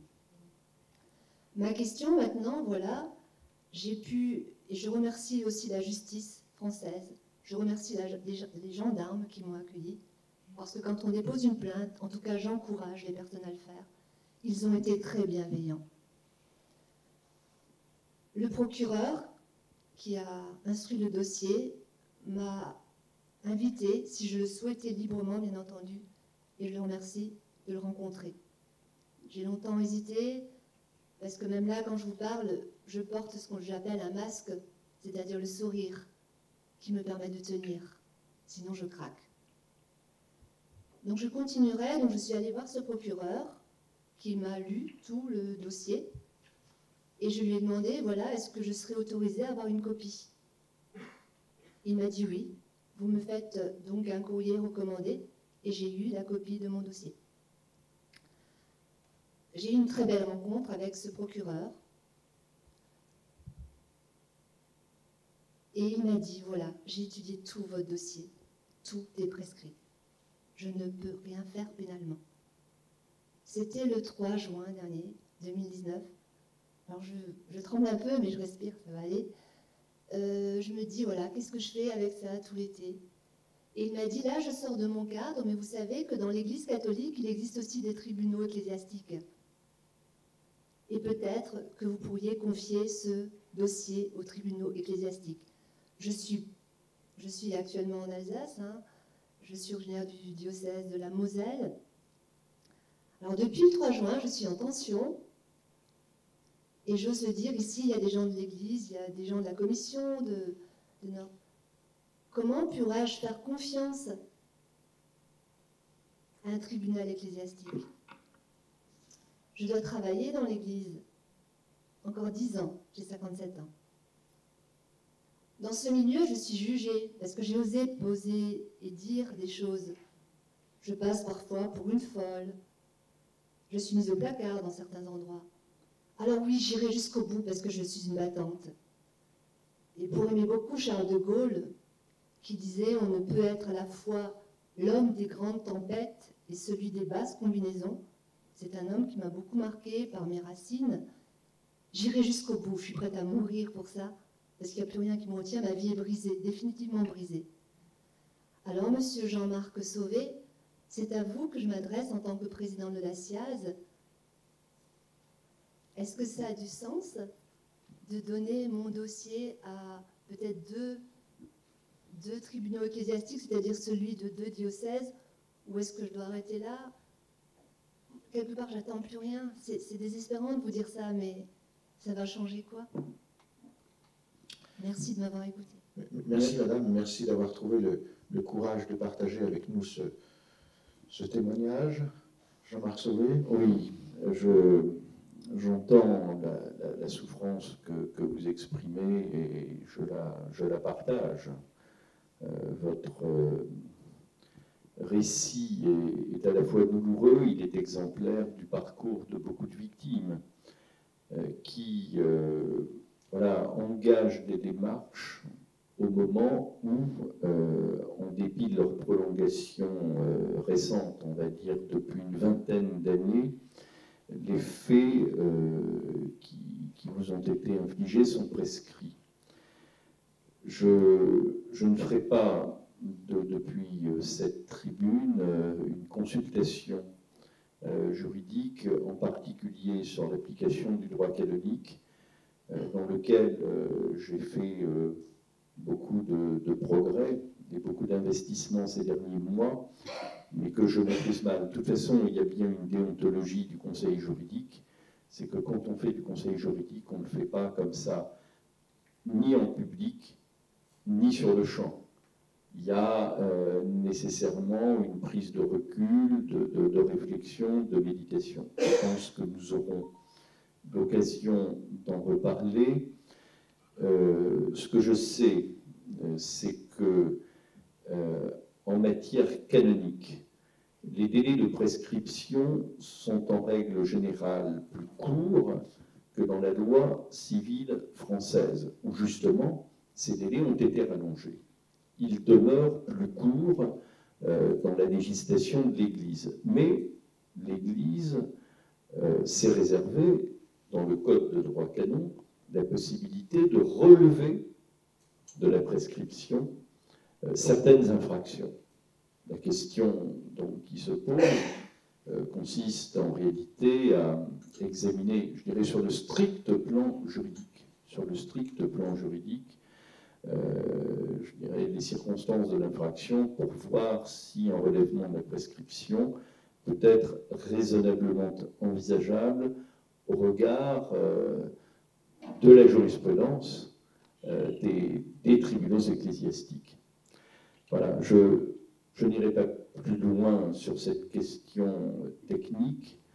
Je pense que le plus important, le, plus important, c'est que vous puissiez vous exprimer, que vous puissiez être entendu et qu'une instance, quelle qu'elle soit, ça peut être la nôtre ou une autre, puisse reconnaître ce que vous avez vécu. Et là, je fais écho à ce que Christine Azerge disait tout à l'heure sur la réparation. La réparation ne peut pas être uniquement euh, financière, indemnitaire. Voilà, c'est un jalon euh, sur un dialogue que nous sommes euh, appelés à poursuivre. Nous avions une autre demande de prise de parole. Oui, euh, bonsoir tout le monde. C'est un peu une prise de parole un peu compliquée pour moi, mais je la fais quand même. Euh, J'ai été abusé enfant par un homme dont je me rappelle le visage, l'odeur, que je crois avoir croisé à l'âge de 20 ans dans un lieu de travail. Ça m'a donné envie de, me suicider. Je ne l'ai pas fait parce que j'avais la foi. Et, et je ne l'ai pas fait parce que j'ai pensé à mon père que je n'ai pas connu. Et, et ce qui a été important pour moi, à ce moment-là, c'est de me dire, ma vie, elle n'est pas terminée.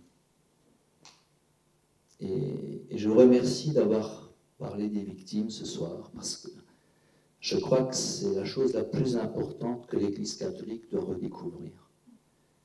C'est qu'il n'y a pas que des prêtres qui ont abusé, mais il y a surtout des victimes qui n'arrivent pas à parler. Et moi, j'ai parlé devant, euh, je suis prêtre en l'occurrence, et j'ai parlé devant des acteurs de la pastorale, parce que je devais animer un temps de prière après l'arrestation d'un prêtre. Et animer un temps de prière, quand on est prêtre, c'est normal, mais quand on est prêtre et qu'on a connu l'abus dans sa enfance, c'était plus normal pour moi. Et j'ai fait ce choix d'en parler ce jour-là. Euh, excusez-moi.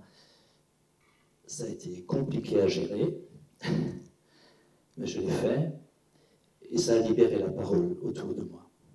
Les gens ont pu parler, on a aussi pu créer un groupe de parole.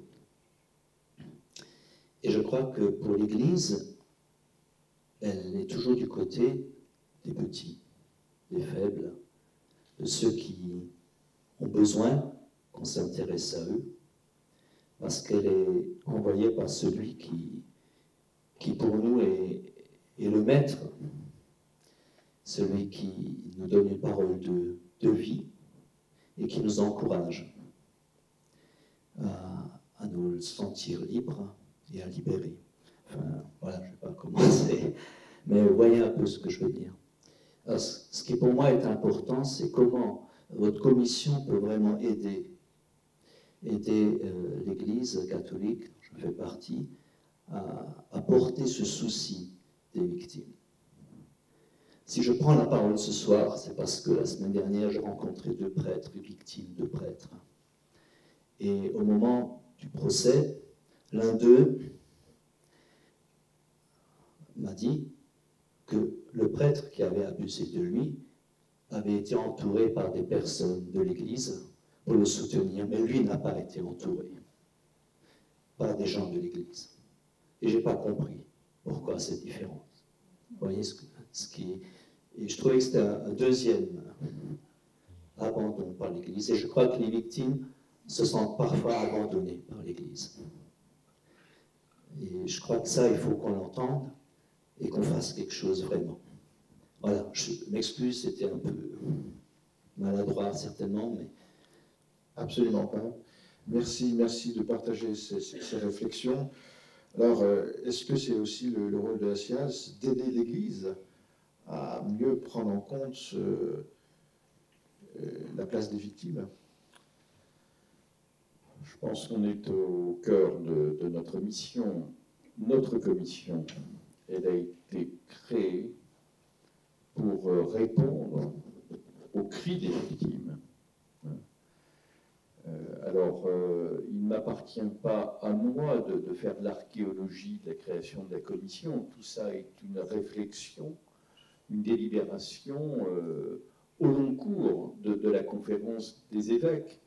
Mais le point de départ de tout cela, c'est la douleur des victimes, c'est le cri des victimes, et l'Église a considéré qu'en dépit des mesures qui avaient été prises depuis le début des années 2000, et en particulier encore en 2016 avec la mise en place des cellules d'écoute, de prévention de la, pédophilie, il fallait faire quelque chose pour les victimes. Donc nous y sommes, euh, et nous, notre mission, euh, c'est pas euh, du tout de euh, sauver les meubles pour l'Église catholique, c'est pas ça du tout.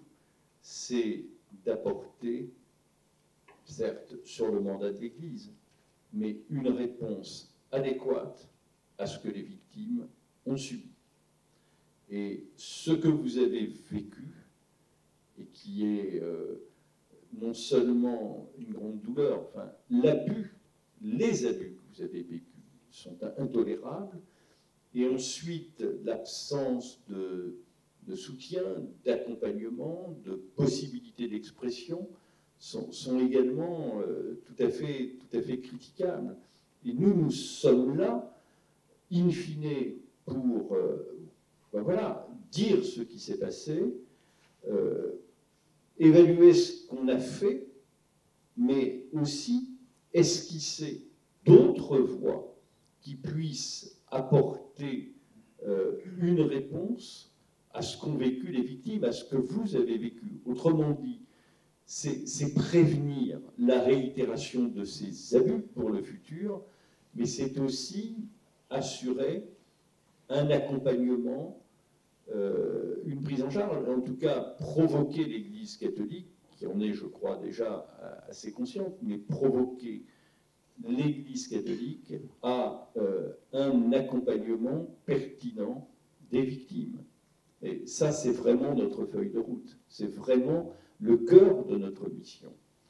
La, première étape, vous le voyez bien derrière l'appel à témoignage, c'est d'abord euh, prendre la mesure, faire la lumière, prendre la mesure de ce qui s'est passé, faire la lumière de ce qui s'est passé. Mais après, au-delà du diagnostic, il faut qu'on ait euh, des conclusions et des propositions euh, opérationnelles qui à la fois expriment notre sollicitude à l'égard des victimes et, et, donc euh, ben, ce que nous attendons euh, des uns et des autres pour que la situation des victimes se trouve euh, correctement, correctement prise en compte. Voilà, je voudrais dire un mot, parce que je n'ai pas eu de questions là-dessus et j'aurais dû faire la remarque de manière liminaire. Il y a eu des abus sexuels dans tous les milieux de la société française et bien sûr aussi et d'abord dans les familles. Ce que je voudrais souligner, et les, auditions le montrent euh, avec une clarté aveuglante, c'est au sein de l'Église catholique le lien très profond qui s'est noué entre l'autorité du prêtre et donc l'abus d'autorité, l'abus spirituel, l'abus de conscience et l'abus sexuel. Ça, c'est une caractéristique propre euh, des, abus qui ont été euh, commis euh, au sein du monde catholique.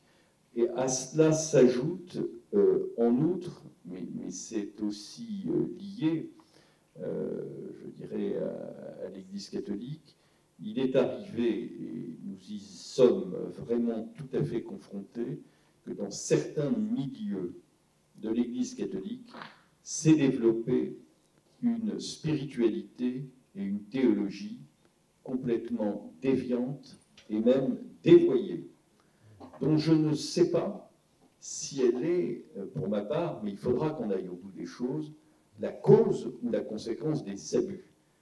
Est-ce que c'est la perversité qui a engendré une théologie, une spiritualité déviante ou dévoyée, ou est-ce que c'est cette euh, théologie et spiritualité déviante et dévoyée qui a provoqué des abus euh, Voilà, je voudrais, et ça, euh, cette caractéristique, si vous voulez, le, fait qu'autant d'abus aient pu être commis au domicile des parents, auxquels le prêtre avait accès, parce qu'il était familier, il était intime. Le prêtre pouvait monter à l'étage dans les chambres des enfants. Et l'enfant, euh, et au-delà de la, honte et de la culpabilité qu'il a éprouvée, ne pouvait pas en parler à ses parents parce que c'était l'intime des parents, c'était à la fois la figure de Dieu dans la famille, l'intime des parents, le monde des adultes, et, ça a contribué dans ce milieu spécifique-là à, provoquer euh, un silence sans doute encore plus euh, insurmontable que dans d'autres milieux, par exemple l'école, les mouvements de jeunesse ou euh, les clubs sportifs, par exemple. Je voulais le dire parce que c'est quelque chose qui est, très profond. Et en écho aussi à une remarque qui a été faite, aucun d'entre nous n'aurait accepté cette mission, quelle que soit sa confession ou ses opinions religieuses, s'il n'avait eu l'absolue certitude de la totale indépendance de la Commission, de sa totale liberté d'organiser même ses travaux et euh, d'orienter ses recherches dans tel ou tel sens. Rien, encore une fois, dans nos méthodes de travail, dans notre programme de travail n'a été dicté par l'Église catholique. Et je dois vous dire que j'ai derrière moi 45 ans euh, d'expérience professionnelle, mais jamais je n'ai travaillé à budget ouvert. Et là, j'en parle devant le directeur de l'ENA. Le directeur de l'ENA, il a une grande capacité d'action, mais il a un plafond budgétaire qu'il doit impérativement respecter. Nous, nous sommes rentrés dans un sujet complètement nouveau. J'ai dit que ça coûterait, euh, ben voilà, qu'on atteindrait, qu'on dépasserait un million d'euros. Aujourd'hui, nos travaux, euh, selon nos estimations qui se sont affinées au fil des mois, euh, vont coûter 3 millions à 3 millions et demi d'euros par rapport aux chiffres que j'ai imprudemment articulé en commençant, il y a une multiplication par plus de 3, et euh, mes mandants m'ont dit, mais il n'en est pas question. Vous faites exploser le plafond, vous n'êtes pas euh, quelqu'un de, sérieux et de responsable. Vous savez, euh, quand on peut agir pour, sans contrainte financière, naturellement, pour financer uniquement des, actions utiles, pertinentes, euh, c'est là où vous êtes vraiment indépendant. Il n'y a pas de doute. L'Église n'a pas de cours des comptes. Euh, Marion muller je crois que vous souhaitiez réagir euh, au témoignage de monsieur. Oui, et de madame aussi. pour essayer de, partager un peu avec vous, je vais parler en tant que chrétienne aussi qui, sur quoi peut reposer mon espoir. Et je vais euh, le faire à travers une anecdote qui n'est pas du tout à mon avantage, vous allez voir. Je dînais, avant, toute rencontre avec euh, une personne victime, je dînais un jour avec un ami évêque qui, lui, avait ce temps d'avance sur moi, qu'il avait déjà rencontré des victimes. Et en parlant de et de mes motivations à participer, je fanfaronnais en disant Bah oui, je voudrais quand même pas que ton église s'écroule parce que nous, les protestants, contre quoi on, contre quoi on protesterait après, en fait, ça nous ébranlerait aussi. Je fanfaronnais. Et il s'est mis dans une colère noire en me disant Mais moi, l'avenir de l'église, ça m'importe pas du tout en réalité. La seule chose qui m'importe, ce sont les personnes victimes. Donc il m'a remise d'équerre en deux-deux.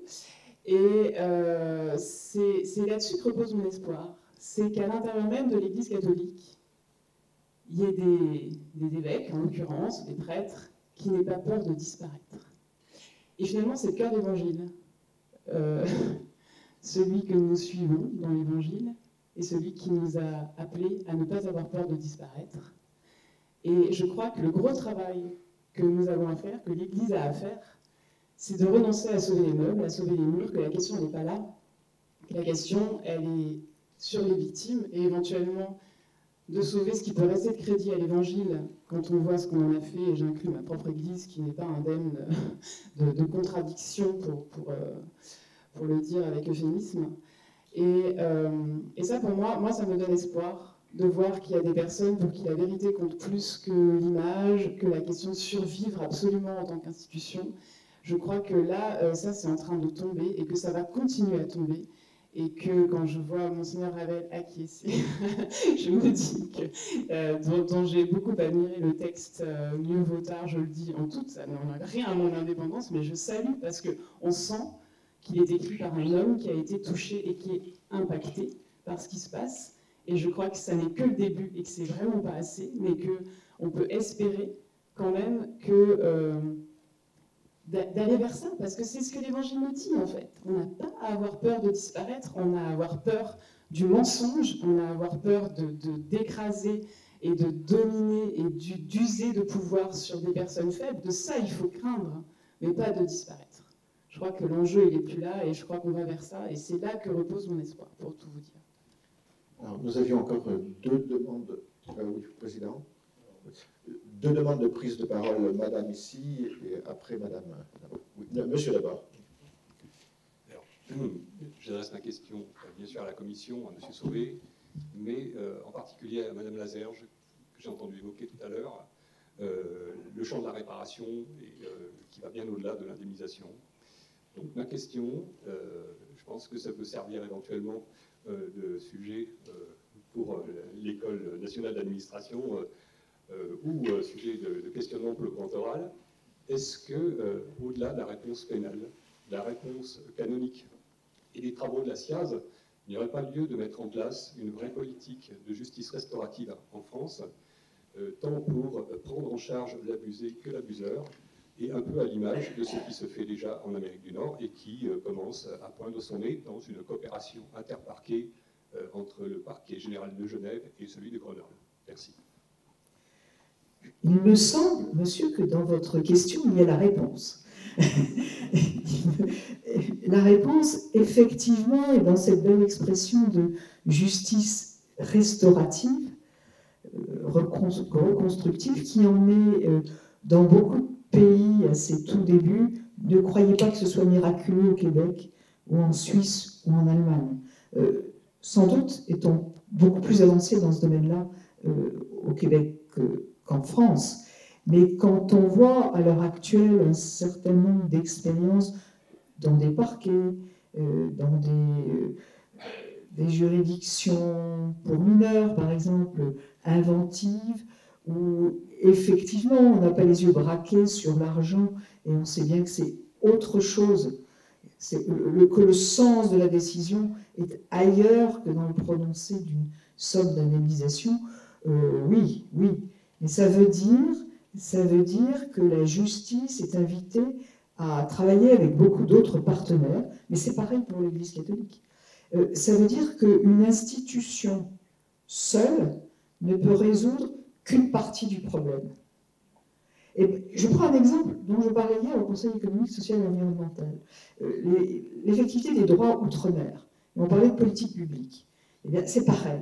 Une politique publique, ce n'est pas une loi, une politique publique, c'est la mise en marche d'un mouvement qui, pour qu'il fonctionne, va associer la société civile, le monde associatif, évidemment les pouvoirs publics, évidemment, mais on sait aujourd'hui que les pouvoirs publics ne peuvent pas grand-chose tout seuls s'il n'y a pas de relais, et de la même façon, la justice française ne peut pas toute seule, et l'Église catholique non plus, ne peut pas toute seule il faut qu'il y ait un certain nombre d'acteurs, de partenaires, de prise en charge.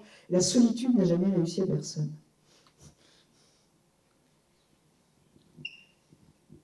Oui, vous savez, euh, parmi les sept personnes que je connaissais, euh, j'ai fait appel à Antoine Mirapon, qui est secrétaire général de l'Institut de hautes études sur la justice, et notamment, bon, en raison de sa réflexion et de ses travaux sur la justice restaurative. J'avais une petite idée. Il y a les, personnes, on, arrive à la fin, mais quand je dis que j'ai fait équipe avec un ensemble de personnes que je ne connaissais pas. C'est ça, on se met en risque, on fait appel. Je connaissais Christine Lazer, je ne connaissais pas Marion Muller-Collard. Nous avions rendez-vous dans un café euh, au métro Saint-Sulpice. On ne se connaissait pas. Donc j'arrive, j'étais un peu en retard, et donc je connaissais euh, le CV de Marion Muller-Collard, je ne pouvais pas la voir, il y avait un pilier qui la dissimulait. Et donc, je commence à m'approcher, la bouche en cœur, de toutes les tables où il pouvait y avoir une personne susceptible de ressembler à Marion Muller-Collard. Moyennant quoi les femmes en question me voient m'approcher, le sourire comme ça, et se, disant Mais qu'est-ce que ce type? Et alors elles replongeaient l'air très très irrité dans leur lecture ou dans leur tasse de café. Alors, dans ce café, j'ai lancé un appel téléphonique désespéré en disant Je suis dans le café Saint-Placide et je ne vous trouve pas. Elle me répond Oui, je suis bien dans un café, mais ça doit être deux cafés différents. J'ai dit Je vais explorer les cafés du quartier. Et en fait, on a fini par se trouver, on était bien dans le même établissement. mais tout ça, pour dire euh, que la commission a été composée euh, non pas comme euh, une bande d'amis qui essaye de régler tranquillement une commande de l'Église catholique entre soi, mais nous nous sommes efforcés, je me suis efforcé en lien avec toutes les personnes à qui je fais appel, de réunir toutes les qualifications requises, avec toute l'indépendance requise, pour répondre à cette feuille de route euh, dont je pressentais dès le début qu'elle était euh, incroyablement euh, difficile. Mais je ne regrette aucun des choix que j'ai faits.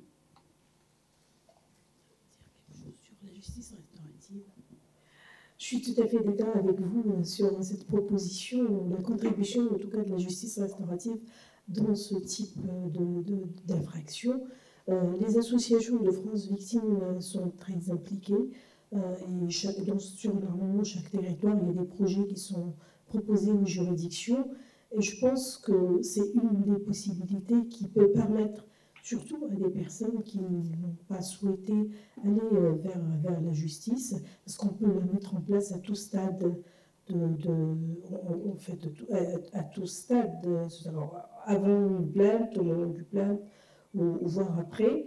Donc, euh, je pense que le fait de travailler avec France Victime, ça peut aussi euh, vous aider à développer, à proposer aux juridictions euh, donc ce type de, mesures pour répondre peut-être à un certain nombre de, besoins des victimes. Sachant aussi que la société civile vient en appui aux associations. Euh, il y a beaucoup de bénévoles qui se proposent à participer, après les avoir formés bien sûr, et les coachés au niveau des associations d'aide victimes, pour apporter leur soutien euh, donc à l'ensemble des victimes. Alors nous avons encore deux demandes de prise de parole. Madame au troisième rang. Oui, moi je voulais vous remercier vraiment très fort de, votre implication et de votre... Je sens que les uns et les autres, vous avez été complètement bouleversés par votre vécu en recueillant ces témoignages. Et pour moi, c'est très fort parce que euh, quand on a passé 30 ans à, se taire et qu'un jour on, on, a le courage de parler, euh, on a l'impression que la magie va s'opérer.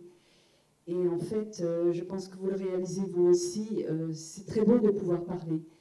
Mais après, on est dépassé par notre témoignage, on est dépassé par nos aveux, parce que la mémoire traumatique se met en, route, parce qu'on découvre d'autres faits familiaux qu'on avait voulu oublier. Et après, il faut gérer tout ça. Alors, j'ai bien senti que vous étiez tous très, impliqués là-dedans et vraiment, je voulais vous, remercier. Euh, remercier aussi notre père évêque parce que dans notre diocèse, euh, il est vraiment euh, remarquable de pouvoir se confier à, lui en tant que représentant de l'Église. Et je crois que au-delà du fait qu'à un moment donné, on espère que la magie va opérer, parce qu'on a parlé malheureusement, la magie n'opère pas. Et euh, il faut continuer à vivre avec, euh, en essayant de, moi, mon désir à présent, c'est de, de, pouvoir tirer du positif, faire du bien avec le mal qu'on m'a fait et peut-être un jour pouvoir parler euh, à mes enfants, parce que pour le moment je ne peux pas. Parce que j'ai peur qu'ils s'écartent encore plus de l'Église. Voilà, et ça je ne le veux pas. Euh, moi dans ma vie je n'ai qu'un Seigneur, c'est Jésus-Christ. Et grâce à lui, je tiens et je suis heureuse d'être de l'Église. Merci. Merci, merci Madame. Alors, comment euh, gérer les effets de la mémoire traumatique? Comment, la SIAS peut aider les victimes euh, dans ce domaine-là?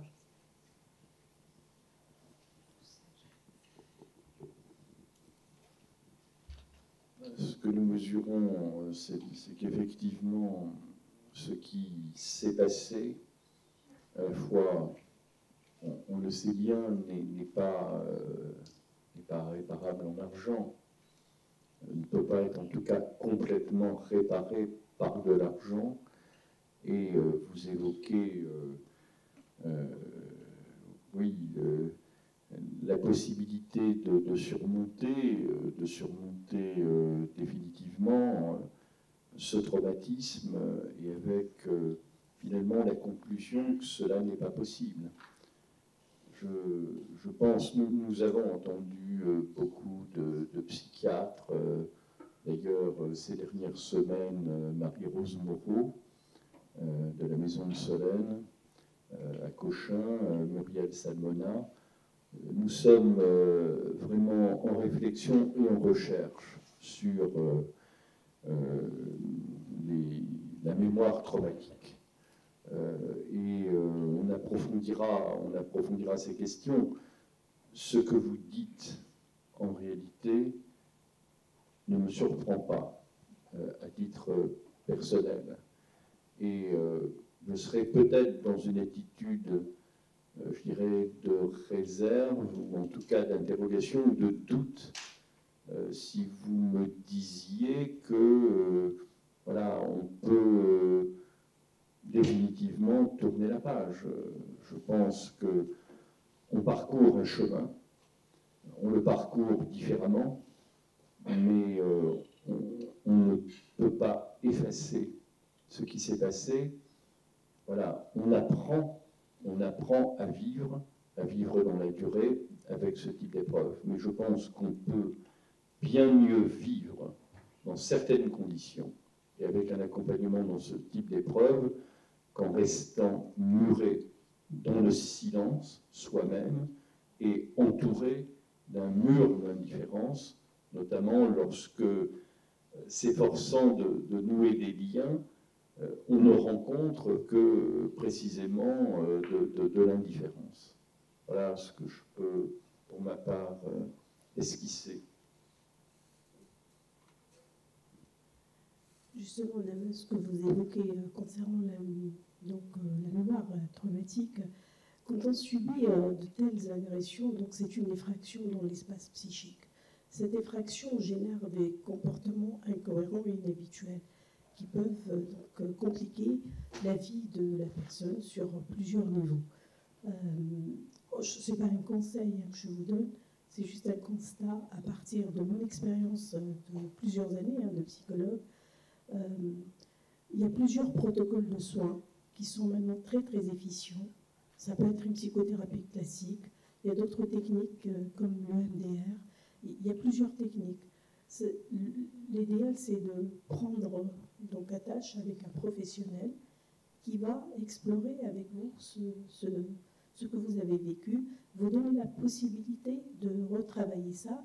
Et je suis tout à fait d'accord avec euh, M. Sauvé, on ne, peut pas, on ne peut pas effacer quelque chose de, cet ordre-là, de sa mémoire, mais on peut plus ou moins l'isoler et apprendre à vivre avec et sortir de cet état de victimisation. Vous dites vous-même que vous avez, vous, pas, vous avez essayé de protéger vos enfants, ne pas leur dire ce que vous avez vécu, mais sachez que dans nos comportements euh, et nos attitudes, il y a un contenu qui est, latent et qu'on peut à un moment ou à un autre transmettre sans, le vouloir, une crainte, une peur.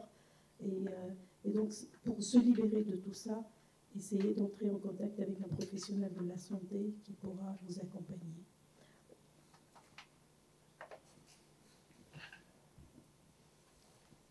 S'approche de la fin de, de cette réunion. Il y a encore Oui. deux Mais- demandes au troisième rang et complètement au fond. Oui, Madame, au troisième rang. ça. Oui, donc je vais juste dire premièrement un merci. Je vais faire écho à ce merci euh, pour toutes les heures passées à l'écoute des victimes et combien euh, je suis reconnaissante pour ce travail que vous avez entamé. Euh, je parle aussi en tant qu'américaine, vous avez peut-être remarqué l'accent. Et euh, aux États-Unis, quand en 2002, les évêques ont lancé une commission indépendante qui ont aussi généré un rapport qui était le John Jay Report en 2003. Euh, oui, 2003, je crois. Euh, et donc, c'était cela qui a fait que l'Église a pu prendre euh, la mesure de l'ampleur et la gravité des faits. Et cela a été un cataclysme qui a pu nous lancer vers un chemin de vérité dans l'Église. Et donc, je crois profondément dans le travail que vous faites. Donc, j'ai une question à vous poser maintenant. Et c'est plus par rapport à la suite de votre travail dans le sens que vous avez bien nous exprimé et mesuré le temps que ça prend pour la libération de la parole. Et vous savez avec moi qu'il y a beaucoup de victimes qui pourraient être prêtes de vous parler, peut-être en deux ans, trois ans, quatre ans. Et vous savez autant que moi que votre mission n'est pas éternelle. Donc, je demande, est-ce que vous avez, et si ce n'est pas possible de répondre maintenant, je comprends, mais je demande, est-ce que vous avez pensé de prolonger un peu votre euh, temps pour cette enquête? Est-ce que vous envisagez que peut-être les évêques auront le courage et la gentillesse euh, de vous demander de peut-être faire une deuxième enquête qui s'est faite aux États-Unis? Le John Jay Report été fait à plusieurs reprises. Euh, donc, c'est un peu ça ma question, parce que je crois très important votre travail, mais ça sera juste le début de l'iceberg. Merci. Merci ma, ma sœur. C'est l'occasion, votre prise de parole est pour moi l'occasion de rendre hommage aux commissions qui, à l'initiative des pouvoirs publics ou à l'initiative des églises dans différents pays, nous ont précédés. Aux États-Unis, le diocèse de Boston et la Pennsylvanie, en Australie, en Allemagne, en Belgique, aux Pays-Bas. Euh, grâce aux travaux de cette commission, de toutes ces commissions, nous avons pu gagner un temps extrêmement précieux euh, et euh, nous avons pu voir les, voies explorées en priorité et les terrains sur lesquels il valait mieux ne, pas se, fourvoyer.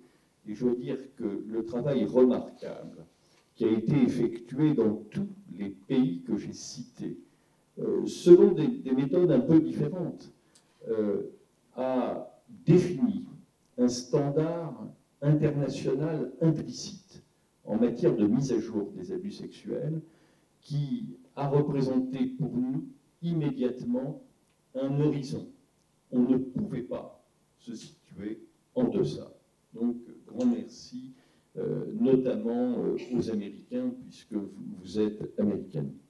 Alors, euh, le mandat de notre commission est de deux ans. Euh, elle devrait donc euh, rendre ses travaux, remettre ses travaux à la fin de 2020.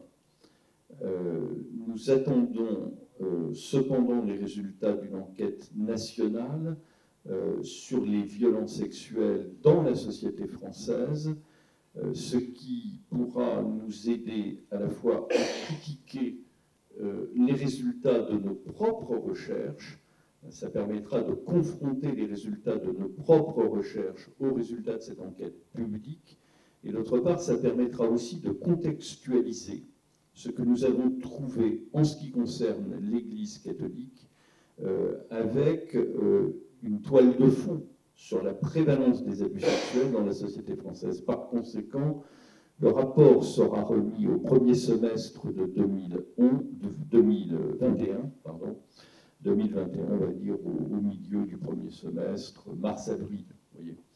Euh, alors, la logique de notre commission, c'est qu'elle est temporaire. Il y a un temps pour tout. Il y a une urgence des victimes. Je pense qu'elle a été clairement rappelée encore ce soir après les récentes visites régionales. Il faut que nous apportons, que nous apportions, à partir d'un état des lieux qui est toujours perfectible, euh, que nous apportions des premières réponses sur ce qui a été fait et ce qui devrait être fait. Voilà. Et ça, on le doit aux victimes. Et dans l'arbitrage qui est fait par nous, implicitement, entre la perfection d'une recherche et en même temps l'urgence d'une réponse à apporter aux victimes, très clairement, la commission qui en a délibéré a opté pour la deuxième branche et ça tombe bien, ça correspond exactement au mandat qui lui a été donné par l'Église catholique qui était de deux ans. Voilà, donc euh, c'est un délai très court. Il nous appartiendra peut-être de recommander, de recommander la mise en place peut-être d'un dispositif de recueil pérenne euh, de la parole des victimes, de ce qu'elles ont vécu. C'est bien possible. Mais nous, en ce qui nous concerne, je crois qu'il y a un moment où il faudra euh, remettre nos travaux. De ce point de vue, nous allons beaucoup plus vite que les commissions homologues. Si vous voulez, la commission allemande a remis ses travaux, ses conclusions au bout de quatre ans, la commission australienne au bout de quatre ans et demi. Seule la commission néerlandaise a bouclé son programme de travail en moins de deux ans. Voilà. Et euh, c'est un cas unique. Ben, on va essayer de faire aussi bien que les Néerlandais. Alors, il est 20h25, nous arrivons au, terme de cette réunion, mais nous avons encore deux demandes de prise de parole. Je propose, si vous en êtes d'accord, Président, que nous les groupions et que nous laissions à la fin la, possibilité à, la Commission de conclure. Donc euh, nous avions Madame au, dernier rang euh, au fond à gauche et ensuite euh, Monsieur. Oui, donc j'ai une question pour cette toute jeune commission. Donc au regard du temps nécessaire pour qu'une personne puisse témoigner des abus subis par l'Église, donc si j'ai bien compris, vous n'avez à ce jour pas accueilli de témoignages de, jeunes adolescents ou de jeunes enfants. Et je pense que l'urgence est aussi à ce niveau la prévention et, puis permettre à, toutes ces jeunes victimes au jour d'aujourd'hui de, pouvoir euh, trouver un lieu où la parole puisse être euh, libérée pour ces personnes. Pour ne pas arriver à ces désastres euh, sur le temps, et je ne sais pas en matière de commission, si vous avez aussi une mission qui est dirigée vers ces, ces personnes actuellement victimes, qui sont mineures. Parce que un moment, vous vous exprimiez comme si c'était du passé, alors que je ne pense pas que ce soit du passé. Merci, merci madame. On va tout de suite passer la parole à monsieur avant de, pouvoir répondre. Alors pour ma part, en fait, je tenais à vous partager un petit témoignage euh, qui, je pense, est important de, transmettre aujourd'hui. Ça apportera peut-être euh, des réponses ou des explications à certaines questions. Euh, j'avais un ami euh, qui était anciennement séminariste et qui a vécu euh, des abus au sein du, séminaire à Strasbourg même. Et alors, ce, que je voulais, ce que je tenais à, dire, c'est qu'à un moment donné, on, se pose des questions sur, sur, sur les abus, mais les personnes qui, de jeunes séminaristes qui sont censés devenir des futurs prêtres, qui eux-mêmes sont abusés et déçus, on va dire, par euh, les personnes qui, sont, qui leur apprennent ou qui leur euh, transmettent un certain savoir. Euh, je pense que je qu'il y a quelque chose de, de, très gros là-dessous. sachant que ce n'est pas un cas isolé, étant donné que mon ami, qui n'est plus de ce monde aujourd'hui, étant donné qu'il est décédé l'année dernière, avait également un ami qui est décédé une semaine après, on ne sait pas pourquoi, pour les deux, et a aussi subi des, abus sexuels au sein du, du grand séminaire de Strasbourg. Voilà. Je tenais juste à vous faire part de mon témoignage. Je vous remercie de m'avoir écouté. Et je ne souhaite pas être pris en photo.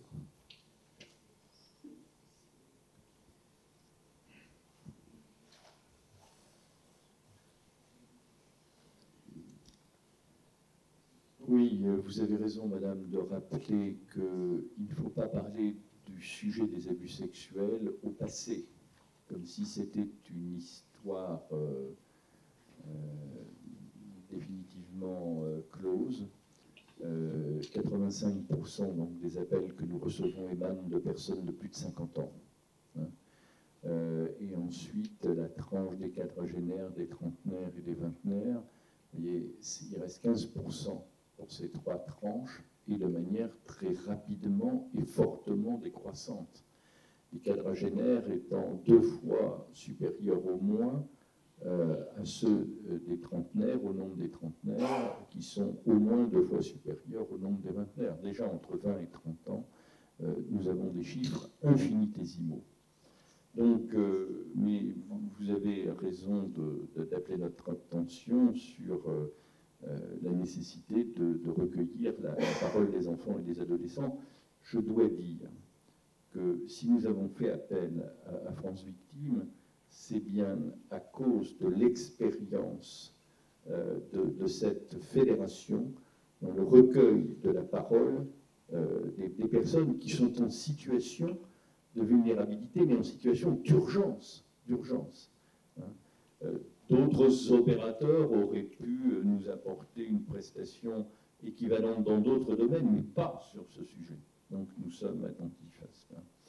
Euh, monsieur, en ce qui concerne le témoignage que vous avez apporté sur cet ami euh, séminariste, euh, je, pense qu'il faut que vous-même, donc en tant que témoin, vous, fassiez, vous fassiez un témoignage qu'on puisse recevoir et, qu'on puisse euh, examiner.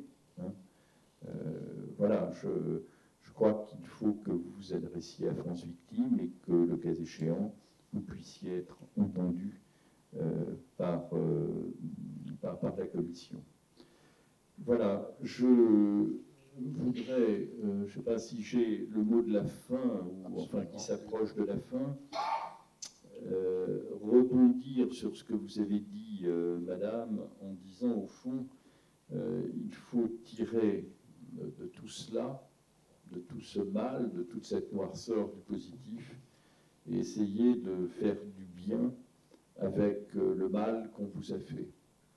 Je, pense que ce que vous dites là correspond un enseignement euh, très, très profondément ancré euh, dans la Bible et qu'on retrouve. Euh, et c'est à la fois sans doute quelque chose qui peut inspirer toutes les personnes qui se réfèrent à la Bible, mais en même temps, c'est le produit d'une sagesse humaine extrêmement profonde.